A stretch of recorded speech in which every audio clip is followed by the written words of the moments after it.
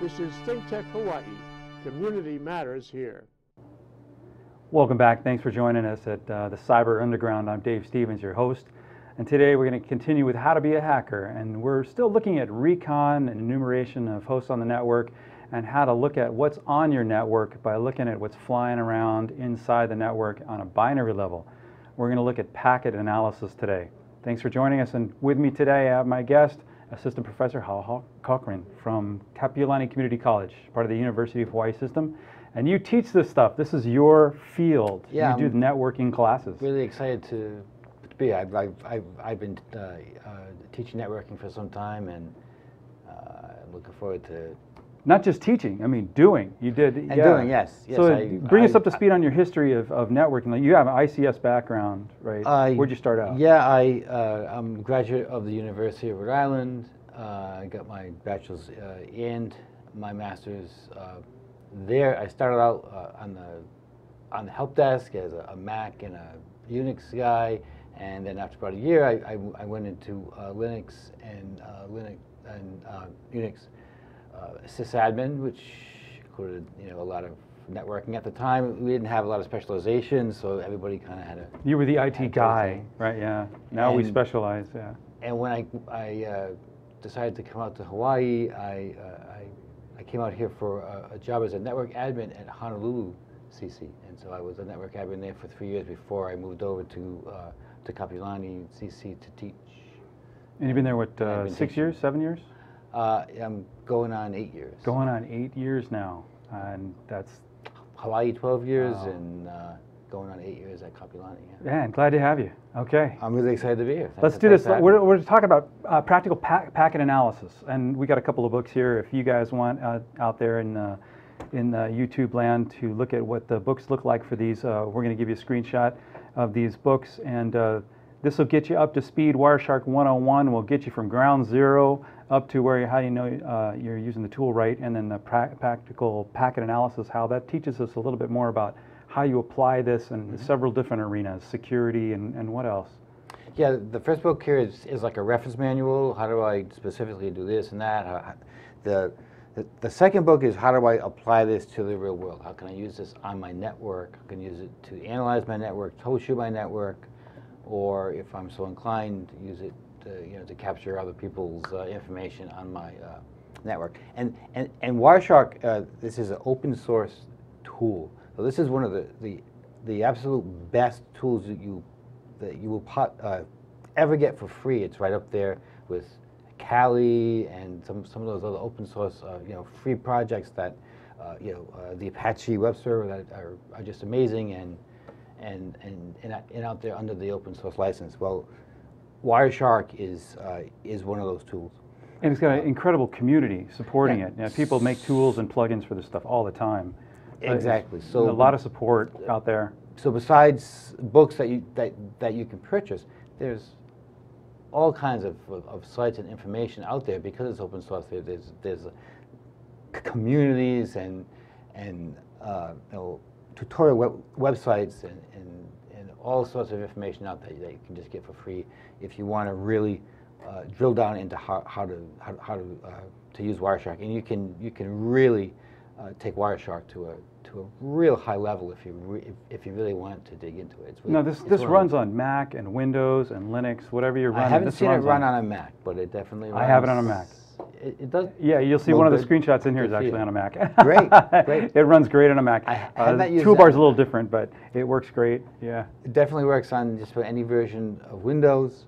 Uh, it it runs on Linux. Uh, newer versions not only uh, can sniff uh, Ethernet, they, they can do they, they can do wireless, and there are even new modules that, that, that can sniff USB, so you can see traffic moving uh, across on uh, USB interfaces. Well, let's let's talk about what that the traffic is in a second. But where do where do I get Wireshark? How do I get that? Oh, you can just download it from the site. I believe it's just wireshark.org, Mhm. and it's a free download.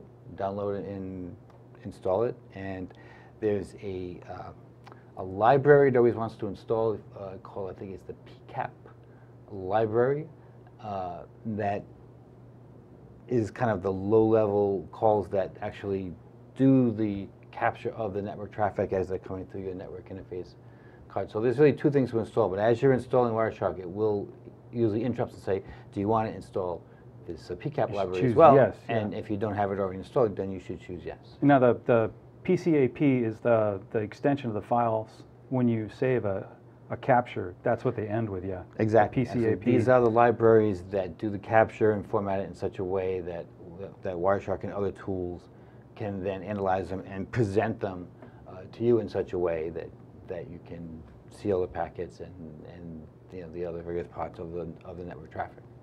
Okay, it works on wireless networks. Let's uh, put up that first screenshot. We're going to take a look at what the, the screen looks like. Now, this is what you see when you start capturing traffic on your network. Now, Mm-hmm. what we mean by that is what? How? What are we doing when we capture traffic, and then what are we looking at on the screen right now?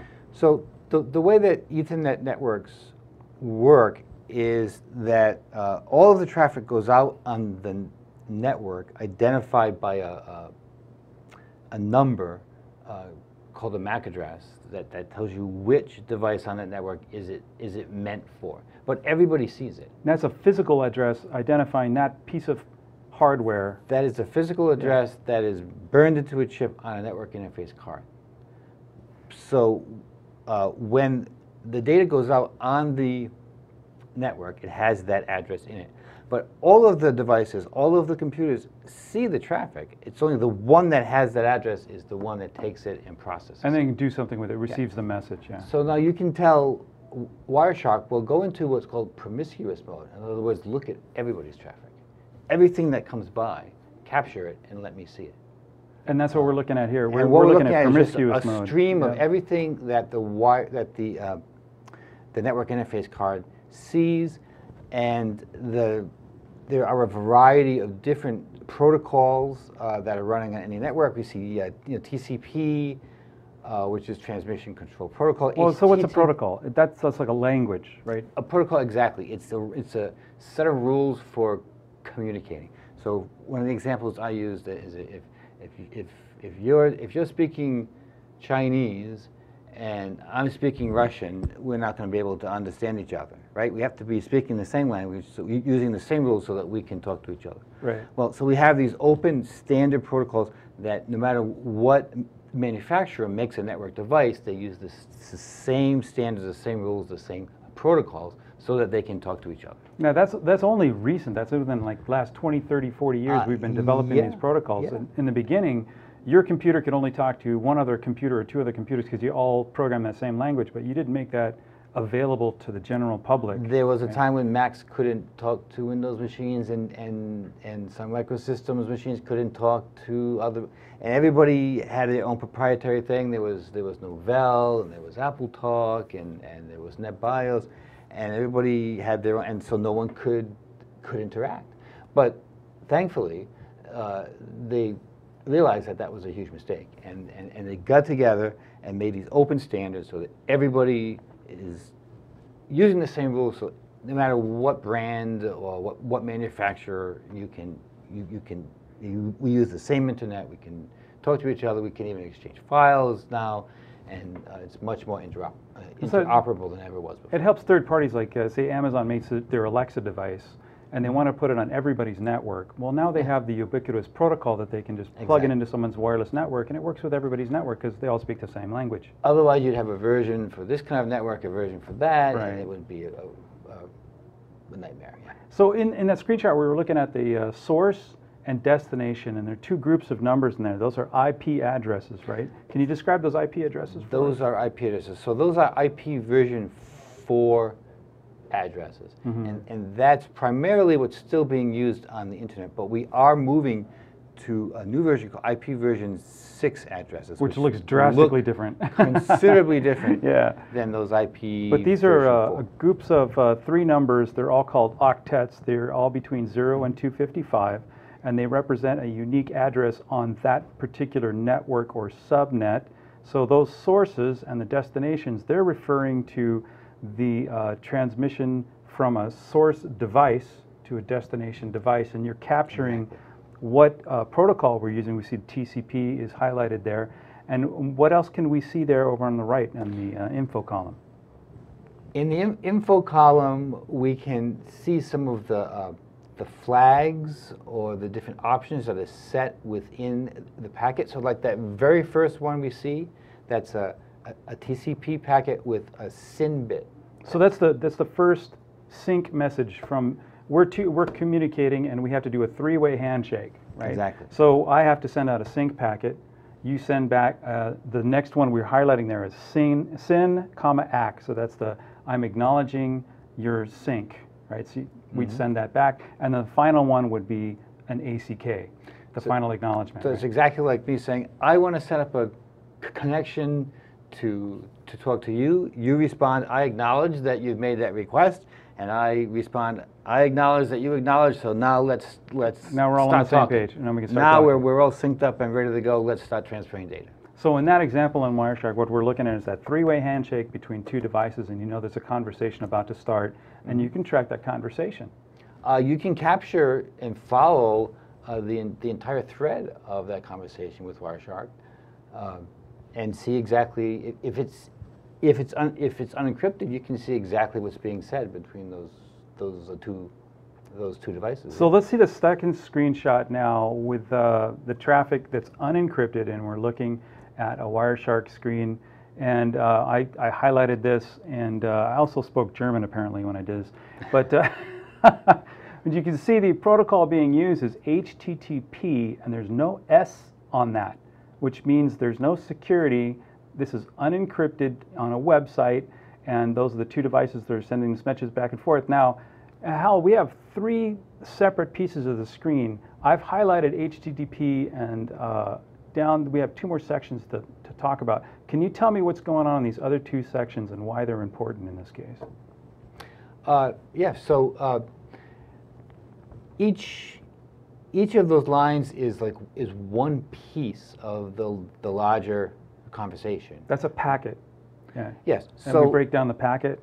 we, we, we have a- an HTTP conversation where a client is requesting a web page, but it, it, it gets broken down into a number of smaller pieces. You know, it, it gets broken into packets, and then those packets get sent out on the internet and then the, the, the, the server's end. They'll, they'll be reconstructed to, you know, to recreate the original request. So it gets chopped down or broken down in, into smaller pieces, sent out, and then reconstructed on the other end. So the, the middle part of the screen, that's the, that's the pieces of the packet that we can see. Uh, this is, a- yeah, a- and, and the details of each part of the packet. So you can actually see. I can uh, see this is this is a Mozilla browser. Yeah, so this is a Windows this machine. is part of the HTTP uh, protocol that that we're seeing here. The, the, these are the, the actual requests and the information and the headers that are that are being sent uh, to the HTTP server as part of the request. Now, on the bottom, we actually see the actual data being sent in the packet. And the important piece we're, we're showing you now is since this is HTTP, it's unencrypted, uh, it's not secure. You didn't do HTTPS, obviously. But down below, you can see there is a password equals, and I etched it out so you guys can't see what the password was, but you can tell if I was just looking at some traffic going across the web in unencrypted form, I can now see someone's password and username being passed to the website. And, and then I can get your login credentials. So this might make people think about going to Starbucks and hooking up to the free Wi-Fi, because there might be someone sitting there with this, watching all the traffic going back and forth, and waiting for that first careless person not to use HTTPS. Yeah. If you if you're using these plain text protocols like straight HTTP or FTP and Telnet, uh, then you're vulnerable to this. I mean, someone can capture this and they can see exact everything that you send. They can see username, they can see password. So if we use uh, encryption, as you said, HTTPS, and there are, are there's a replacement for uh, uh, for Telnet, that's a secure shell SSH that uses encryption. I could use a VPN. So that's a fi- virtual or- private network. Or you yeah. could use a VPN, or you can use a secure version of FTP instead of instead of the unencrypted is the SFTP. So those are all protocols that we use for different functions. Now let's talk about ports too. Now, a port, Mm-hmm. uh, it's a doorway to a computer, and you have a number of these doorways to any given computer. But there's there's certain port numbers I think 0 to 1024. They're so common. Pretty much everybody knows these first thousand ports and, and what they're used for. Uh, for instance, uh, HTTP, you're going to get most of the time it's going to be port 80, right? That's, that's mainly what it is, and it's port 443 for HTTPS. So um, when we're looking at Wireshark, does a port matter too? Uh, absolutely. A, a port is how you identify a, a service that's running and listening on a, a server. So on a, uh, a single server can have a single IP address, but it can run multiple servers. It could be running a web server and an email server and a, and a file server all at, at the same time. So wh- when a packet arrives at that server's network interface card, how does it know does it, whether it belongs to the mail server, whether it should be going to the, the web server, whether it should be going to the file server? Well, it's because of the, those services run on different ports. So we, we, uh, what happens is, is this something We're going to have to take a break. We're going to come back. We're going to pay some bills, and then we'll talk more about what you can do with Wireshark. Until then, stay safe. I just walked by and I said, "What's happening, guys?" And they told me they were making music.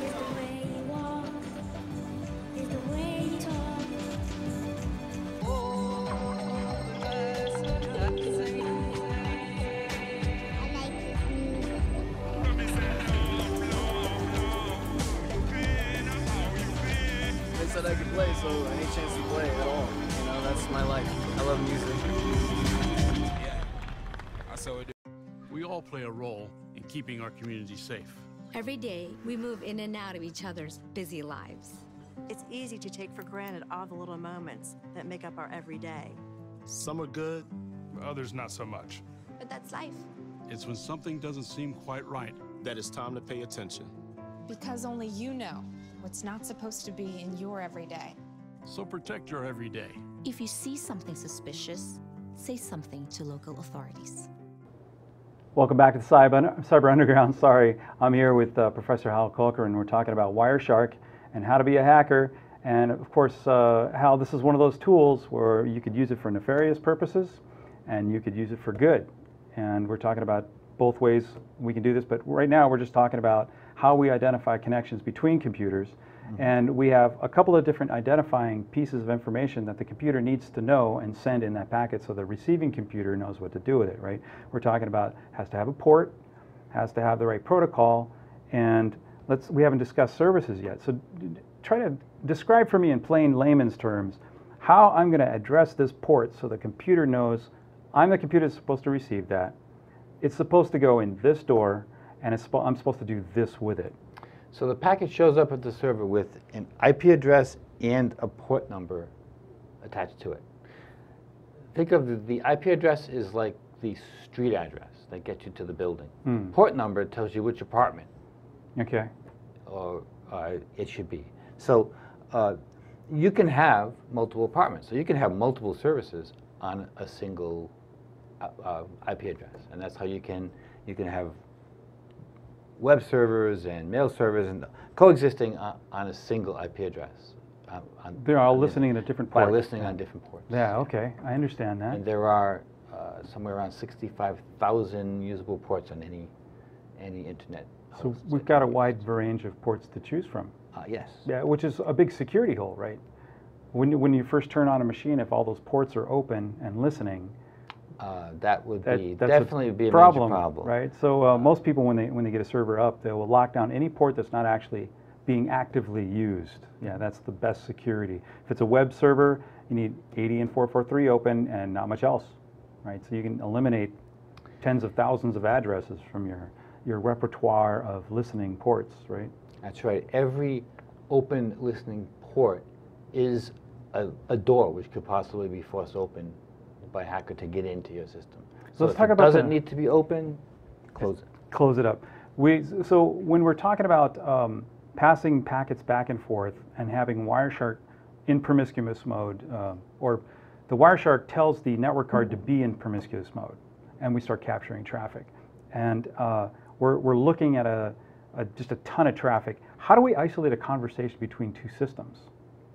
Oh, we can do filtering. You can Okay, so how do we filter? What do we filter on?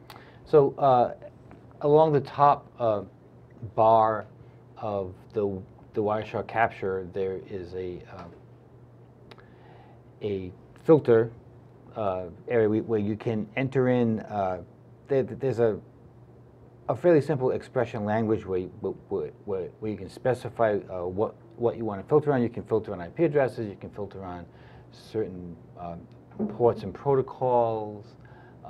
So you can isolate that conversation, so you can just see just those two computers talking Exactly, and try to ga- gather that information, right?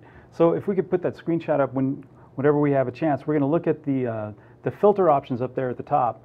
Um, Ah, here we go. So, yeah, so up there in the top left-hand corner, you see TCP port double equals, and in the, uh, most of the C++ languages for programming, double equals means um, we're comparing. So when the TCP port actually is port 80 and the UDP port is port 80, then give me that traffic, and that's what we're looking at in there, is just that port number in there. The expressions are actually really easy, and I've, I've gone to uh, wireshark.org and they've got them all listed out there, and it tells you exactly, you know, how to filter on what you're looking for. Yeah, it's it's it takes a, a little a little bit of practice uh, for some of the more complicated ones, but it's ac- it's actually pretty uh, uh, intuitive. Now, we, we use this in hacking uh, to identify uses traffic. Well, some people do. Uh, but, I mean, use it for legitimate purposes in Yeah. network diagnostics and Oh. trying to keep up with what's going on on your network. How do you use it as a all network the time. guy? This is a, a is best tool. This is this is the way you can actually see what's happening on your network. If you have problems with uh, with latency, with drop packets, Okay, any kind of any kind of network issues. Latency just means that things are are, are going too too slowly. It means that there's some kind of delay, right, Mm. on your network. So your network seems slow. Uh, you, you're getting you know error messages or timeouts or something. Uh, No, no, Wireshark will identify the, the really bad stuff in, with a black background and orange letters, right? Yes. That's, so you can filter right away. That's bad. So, is- Mm-hmm. what are some of the bad things that would flag in those colors? Uh, well, for example, there- there, there's something called uh, in in the TCP protocol. There's something called a reset, and a reset is like an emergency shutdown. Like, uh, I've got a, a major error. I'm not going to talk to you anymore. Go away, and that's that's what the reset is. And that that never happens under normal circumstances. Under n- Ah. normal circumstances, you, you have the, the SYN and the SYNAC to, to set up, and then they have a nice controlled uh, shut down. But the So you see reset you is see the flag fin, is like an emerg. Yeah. you have the fin and the wh- which is the the normal uh, you know type of The departing message. shutdown. Yeah. The reset is just like an emergency, like Somebody pull pull the plug. or So if, something. if, if you're seeing resets, then then then it, it, that's clearly a signal that that that uh, something is wrong. Or if you see a, a lot of resent packets, if packets aren't getting through and they're getting lost, and you see a lot of uh, things being resent, uh, Wireshark will also identify those. That, that would, you're packets. talking about dropped packets. drop packets. Drop yeah, if, packets, you- if right. you're dropping a lot of packets, that, that, that shows you that something's not right. So how would you identify and say someone's doing uh, what they call a, like a SYN attack? This is a stealth attack when they're just they're just looking for that first response from the server. I'm sending out a SYN. I want your your acknowledgement, but then I never reply back to complete the conversation hookup. Right? That is only two of the three steps. You would just see in your in in your capture, you would just see SYN after SYN after SYN after SYN, without the the SYNAC act. So it never completes. They they just keep sending SYN so that they keep using up port numbers, using up resources, without ever completing the three-way handshake. So Hmm. you're leaving. It's kind of like you know, haha, you know, I pull the handshake back and I and I leave you hanging. Well, if I leave you hanging 65,000 times, then I you completely run out of ports, and then the the next valid uh, c- connection can't take place because there's no empty ports left. Right, right, right, right, right. You, so until you reset it or something like that, right? And if you see port scans, sometimes you'll, you'll see uh, something, uh, you'll just see ports in order from 1 up to 65,000. You'll just see like a probe to each port. That, that's clearly someone scanning Port port scanning. to see Yeah. if there's if there's any open ports that they might be able to poke at and try to get in through. So that's part of the reconnaissance that uh, That's- that means is hopefully ethical hackers will do, and they should let you know in advance. I'm going to be port scanning. It could be pen testing, or it could be, uh, you know, somebody unauthorized trying to find a hole in, in your network. Yeah. Now, there's a, there's a bigger danger we were talking about that uh, uh, some objects that are being sent across the wire uh, can be captured and reproduced. So we got a third screenshot here of, of one of those captures. We're, we're doing a capture and then we look at the details of it. And in this capture, we can see in the blue content, the third line, image GIF. So we're actually trying to recreate an image from bytes going across. We captured this in one of our captures, and if I wanted to, I could save that as, uh, well, they selected RAW here, but if you change it uh, to like a JPEG or a GIF, you can usually recreate the image uh, rather handily. And uh, it says GIF, so if I recreate the image, I'll just tag it with .gif, and I should be able to see the image that was transferred across the wire. And uh, again, if you're sitting at Starbucks, you're sending pictures to somebody, uh, watch out, because if I capture that traffic, um, I got your pictures, which is, that's kind of dangerous. That's That, well, depending what kind of pictures they are, Yeah. especially, but it, it could be very dangerous. Yeah. could be very dangerous. So objects uh, being transferred across could be reproduced, and not just pictures. You know, Any type of object, web pages, uh, spreadsheets, yes, documents, spreadsheets, files, anything. yeah. uh, PDFs. People send PDFs of things. Email messages, Emails. Uh, it can all be. anything that goes across that network could be captured and could be recreated. So when I when I get a capture in Wireshark, I have the opportunity to save it as a .pcap file, Mm-hmm. which means I can go into my little treasure trove of PCAPs and click double click on one, and Wireshark will pop up, and it'll show me that conversation, and I can start filtering and searching through this stuff. And I Mm-hmm. Really want to geek out, I can start capturing traffic. You can start saving conversations. You can, you know, you can, this was the conversation from Starbucks on uh, April 16th at 4 o'clock in the afternoon. Let me see what people were doing. Okay. Uh, Now, if- now, if people want to know more, uh, we got about a minute left, so let's wrap this up with.